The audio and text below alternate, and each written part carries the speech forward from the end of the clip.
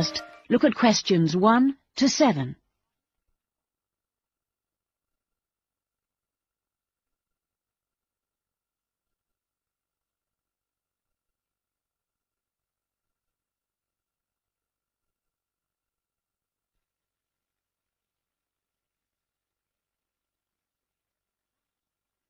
Now listen to the first part of the conversation and complete questions 1 to 7 on the table.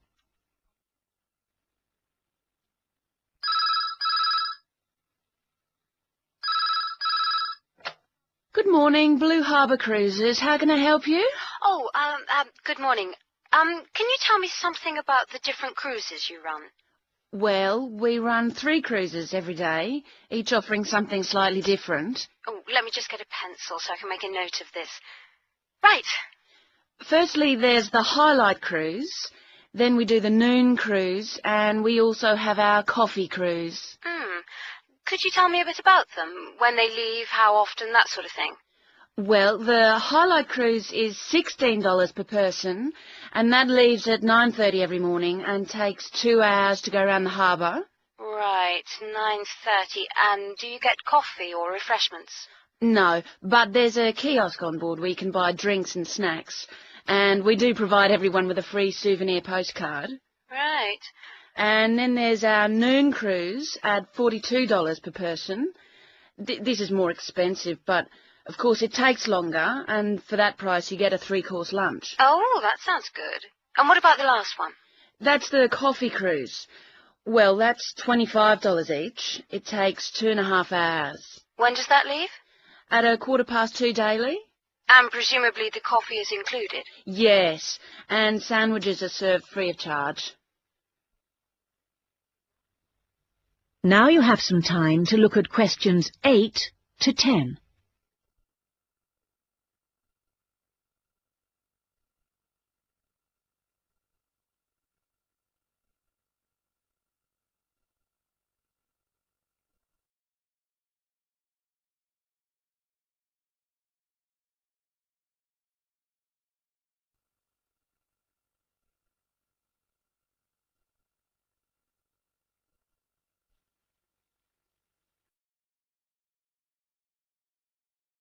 As you listen to the rest of the conversation, answer questions 8 to 10.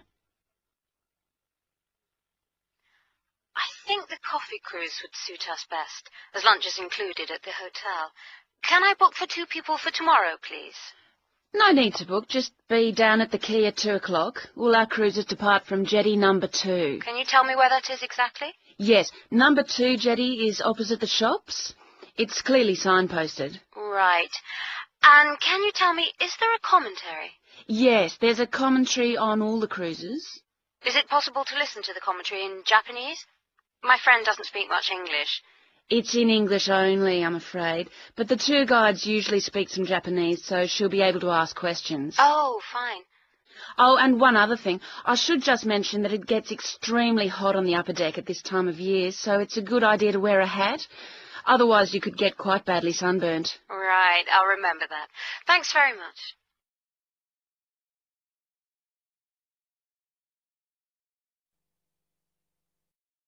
That is the end of part one. You now have half a minute to check your answers.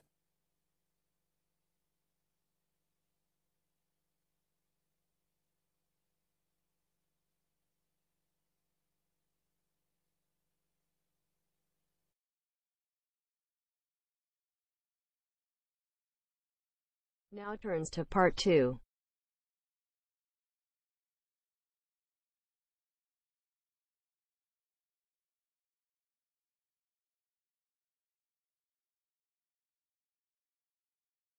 You are going to hear a guide named Matt who is introducing their trip in Wildlife Haven. Now you have some time to look at questions 11 to 15.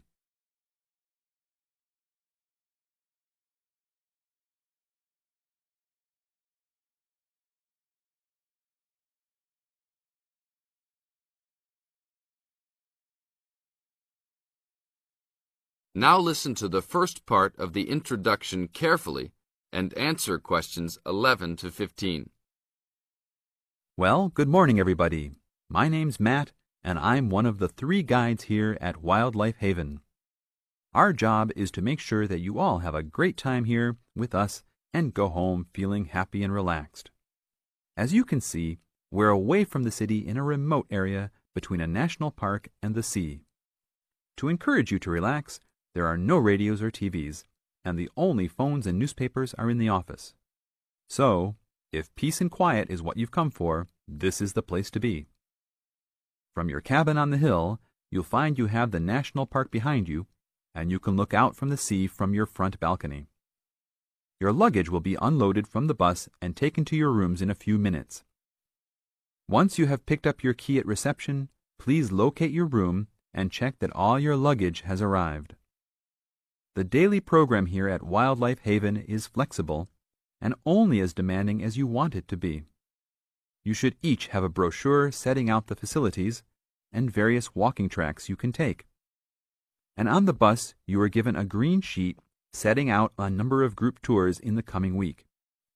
If you want to join any tour, just write your name and room number on the relevant sheet along the wall here. Tomorrow there is a Beachcombers and Rock Hoppers tour exploring marine life in the rock pools along the beach. Or, if you'd prefer to go inland, there's a guided forest walk that takes you off the walking tracks. If you want to catch some lunch, you could join the beach fishing expedition. And at night, you'll see there is a moonlight forest walk that leaves each night at 7 p.m. So there is plenty to choose from at Wildlife Haven, and of course, that includes just sitting on your balcony watching the waves roll in. But I would recommend my favorite tour, the Waterfall Walk.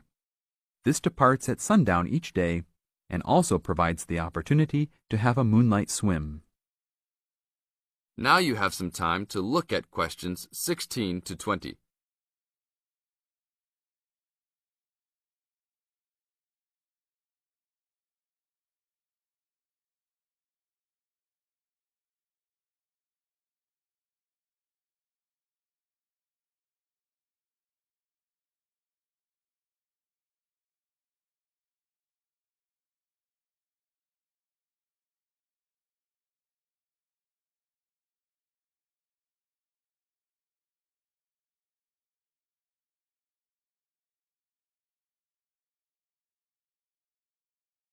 In the second part of the introduction, you are going to get some advice from Matt.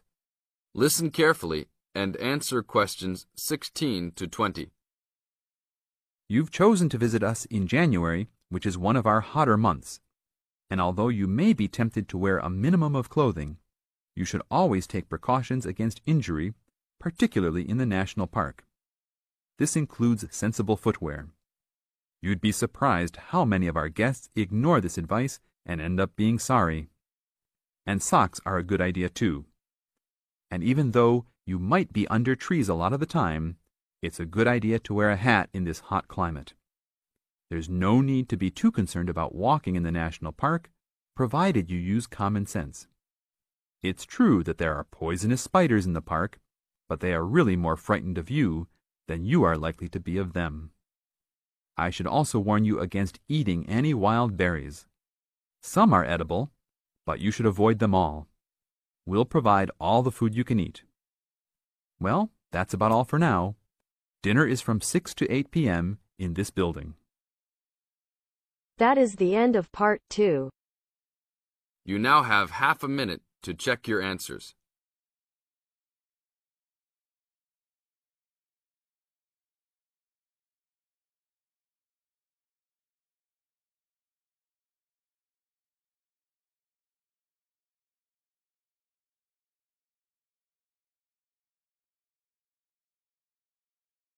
Now turns to part three.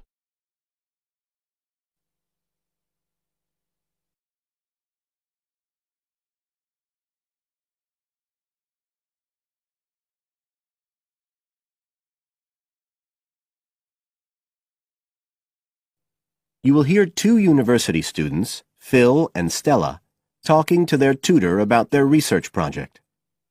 First, you have some time to look at questions 21 to 27 on pages 69 and 70.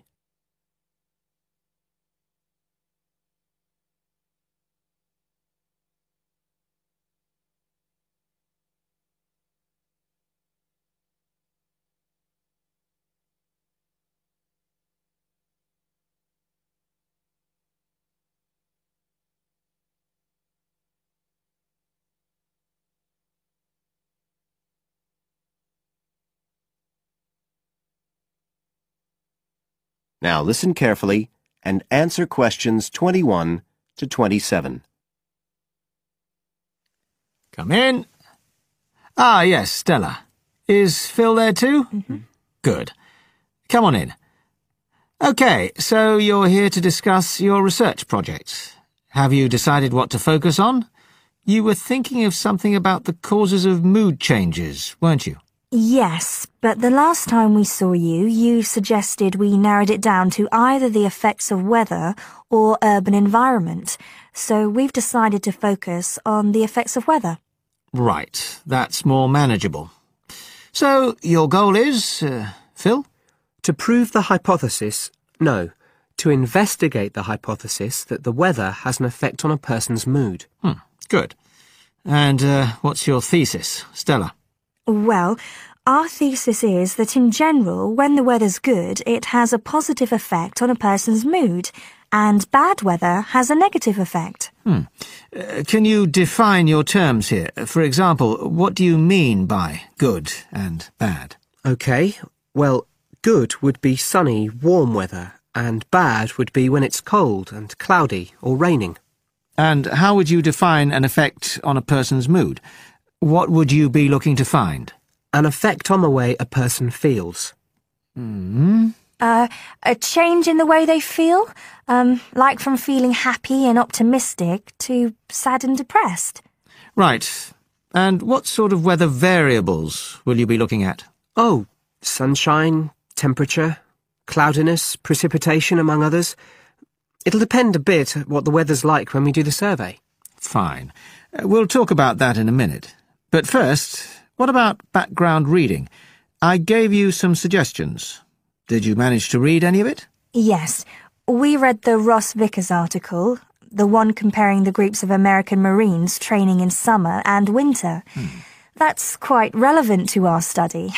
It was interesting because the Marines who were training in the cold winter conditions tried to cheer themselves up by thinking of warm places, but it didn't really work. Yes, they were trying to force themselves to have a positive mental outlook, but in fact it had the opposite effect, and they ended up in a very negative state of mind. And we found some more research by someone who wasn't on the reading list you gave us, George Whiteborn. He compared people living in three countries with very different climatic conditions. Actually, he looked at several things, not just the weather. But he found some people's reactions to bad weather were much worse than others, and it was linked to how stressed they were generally. Uh, the weather on its own didn't have such a significant effect on mood. And we looked at a paper by Haver. Haverton. yeah, he broke weather up into about 15 or 16 categories and did qualitative and quantitative research. He found that humans respond to conditions in the weather with immediate responses, such as fear or amazement. But these responses can also be linked to associations from their earlier life, such as a particular happy or sad event. Uh, did you have a look at Stanfield's work? Yes. It was interesting because the type of questions he asked was similar to what we were planning to use in our survey. Yes. He asked people how they were feeling on days with good and bad weather. He found the biggest factors seemed to be the humidity. Moods were most negative on days with a lot of rainfall. Long periods without sunshine had some effect, but nothing like as much. Hmm.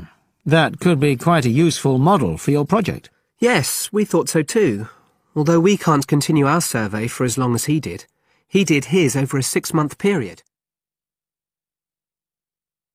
You now have some time to look at questions 28 to 30 on page 70.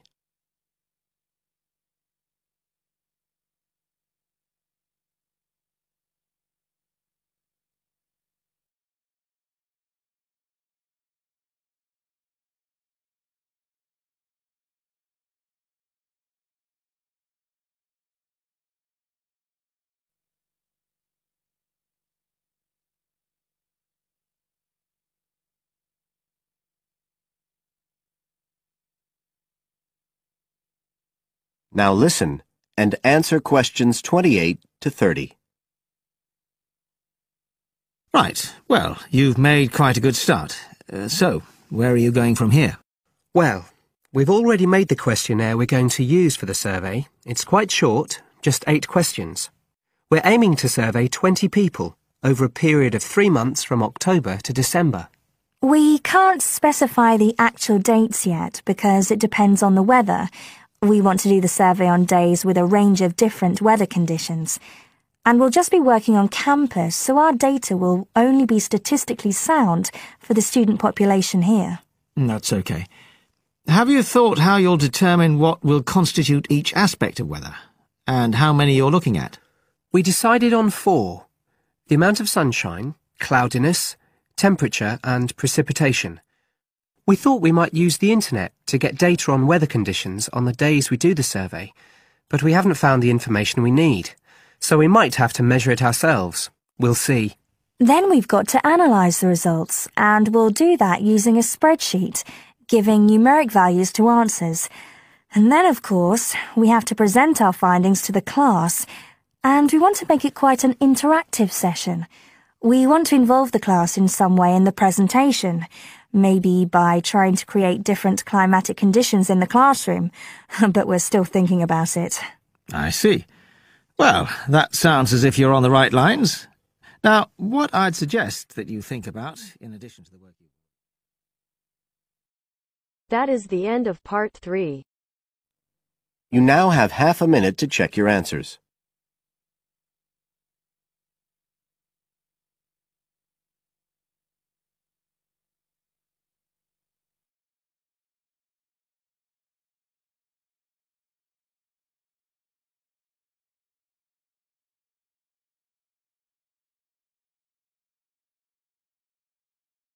You will hear a talk about waste and waste treatment. First, you have some time to look at questions 31 to 34.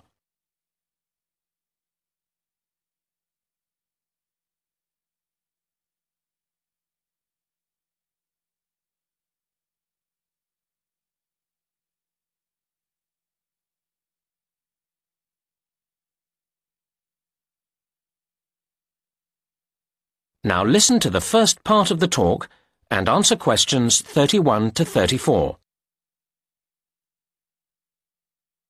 Good afternoon, everybody. Today I'll be talking about the issue of waste, which has become an immense problem in today's society. We face huge challenges in terms of reducing its creation in the first place, and then in dealing with it when it has been created. Now, the model of nature would be our ideal, a completely cyclical system in which no excess waste is generated that can't be processed by itself. However, we humans have proved, despite our apparent intelligence and ingenuity, quite incapable of achieving this. Where did it all go wrong? We have evidence that in ancient Greece and Rome, governments operated municipal waste collection, and a huge Stone Age mound was identified some years ago in Norway as waste disposal. So we can see that people have been generating waste for a very long time indeed. However, during the Dark Ages, sophisticated municipal waste processing disappeared. The medieval answer to waste was to throw it out of the window. But this waste, apart from broken pottery and a few metal objects, was largely organic. This meant, of course, that it was quickly absorbed into the environment by the natural processes of decay. However, many concerned people, such as doctors, claimed that this created health problems, although it wasn't until science produced convincing evidence of the connection between rubbish and disease that governments began to see the importance of dealing with the problem effectively. Unfortunately, their response has remained slower than the generation of waste. It is very hard to deal with waste that won't melt into the environment, as so many of our modern consumer goods won't. And that's why the invention of plastic has caused the worst headache for the environment. It's more than nature can deal with. Now you have some time to look at questions 35 to 37.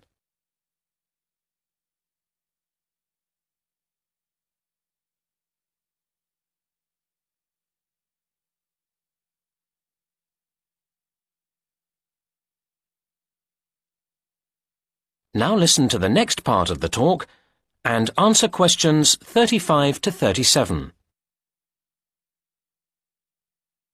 In order to address the root of the problem of waste, we need to think about what has made the quantity of waste accelerate in growth. I'd identify three main reasons. As many countries became industrialized, we saw the advent of mass manufacturing. This has been enormously damaging, as it has greatly increased the amount of things on the planet's surface which don't go away by themselves. Closely related to this is packaging, necessary for transporting things around the world, but then extremely difficult to get rid of properly. And a third aspect to the problem has been disposable goods. We have become accustomed to so many things being to use and then discard that we find it hard to imagine life without them. And yet we spare little thought for where they go when we do discard them. Now you have some time to look at questions 38 to 40.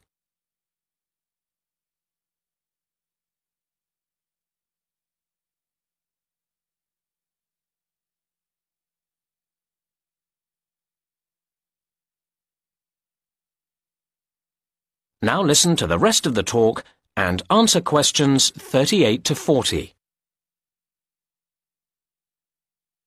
Right now, Let's move on from where all this waste comes from to what is done with it all now it's here. Different countries deal with waste differently. Of course, each country also changes what it does, so the figures for waste treatment I've got here are likely to change in the future. Let's look at municipal solid waste, or MSW. MSW is important to consider because it's effectively a measurement of consumerism. How much waste people produce that goes beyond the absolute basic requirements in life to eat and drink. One of the main ways of dealing with MSW is incineration, burning it. This is adopted variously around the world. The UK burns relatively little waste, as does the US, while Denmark burns about half of all waste and Japan uses this method for as much as three quarters. These are broad brushstrokes, of course, because an important issue is how efficient and clean the burning process is. Another major form of waste treatment is using landfill sites, basically burying the waste in the earth. Currently, this method is the dominant process used in the UK at over 80 percent and is also heavily used in Germany and in the U.S., while densely populated and mountainous countries, such as Switzerland and Japan, dispose of relatively little this way. A third, and much better way of dealing with waste is to recycle it, turning it back into more things we need. It must be said that much depends here on whether further waste is generated by the recycling processes themselves. The UK and Japan have rather poor records in recycling, while Switzerland tops the table in this respect, and reasonably impressive levels are achieved by Denmark and Germany. I really hope that if we all gathered here again ten years from now, these figures would be much higher. Time and a lot of effort will tell.